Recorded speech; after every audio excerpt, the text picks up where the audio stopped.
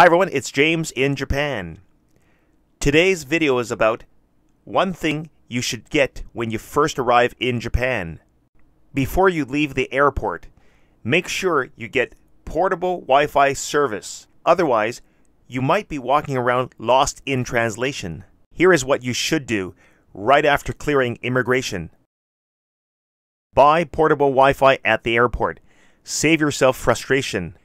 You have two options. Get a prepaid SIM card at a vending machine or rent a pocket Wi-Fi. Make sure you have a valid credit card and make sure your smartphone is unlocked. Make sure you buy the right SIM card. The ones from the vending machine are non-refundable. There's a bilingual pamphlet at the machine, so read it carefully before purchasing one. You can also order one online before you arrive, but if you run into a problem, it'll be a drag.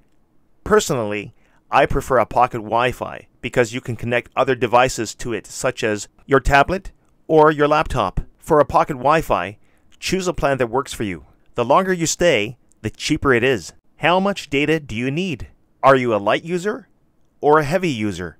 For light users, check train schedules, look up restaurants, translate, check your email.